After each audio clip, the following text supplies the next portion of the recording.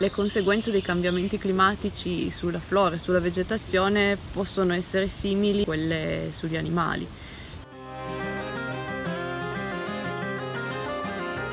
Qui abbiamo delle specie adattate a certi regimi, soprattutto idrici, e adesso si trovano a far fronte con, eh, con una mancanza, non solo di quest'anno, ma è un trend che si porta avanti da, da più e più tempo.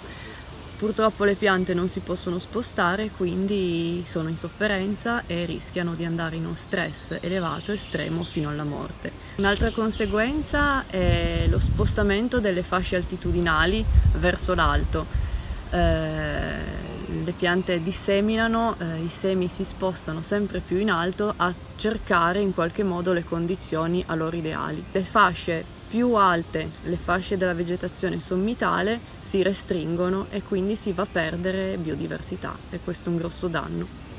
Dato che la vegetazione è ormai in stato di deperimento, sono facilitate le invasioni di specie alloctone, specie aliene, quelle che arrivano da altri continenti, importate, sfuggite a coltivazioni eh, possono creare numerosi problemi perché vanno a soppiantare appunto la, la nostra vegetazione. Un esempio di questo è l'ailanto, una, una, specie arborea che riempie tutti gli spazi, è fortissimo, è vigorosissimo e non patisce la siccità come molte altre specie, quindi si rischia di avere distese di ailanto quando invece prima c'era un bosco eh, ricco di biodiversità.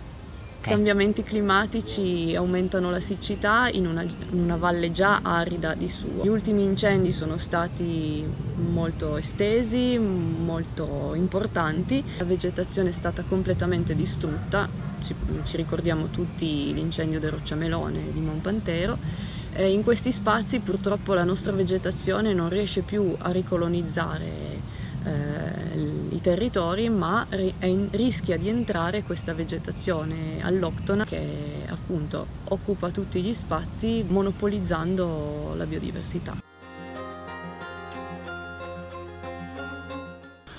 Le conseguenze del cambiamento climatico sulla biodiversità animale in Valle di Susa stanno già iniziando a vedere soprattutto sulla distribuzione delle specie. Le lepidotteri, cioè le farfalle ed i coleotteri stanno iniziando la loro risalita lungo i versanti per cercare le loro condizioni climatiche ideali per sopravvivere a quote superiori. Le montagne hanno questa forma rastremata e conica e questo fa sì che man mano che si sale la superficie disponibile è sempre minore fino proprio ad esaurirsi. Una seconda conseguenza invece di tipo fisiologico proprio su specie adatte al freddo, in Valle di Susa abbiamo diversi animali come ad esempio la pernice bianca piuttosto che la lepre variabile che vivono ad alta quota e sono proprio legate a temperature basse e a innevamento anche piuttosto cospicuo che stanno pian piano eh, diminuendo proprio a causa dello scarso innevamento e delle temperature che diventano invivibili per questi animali.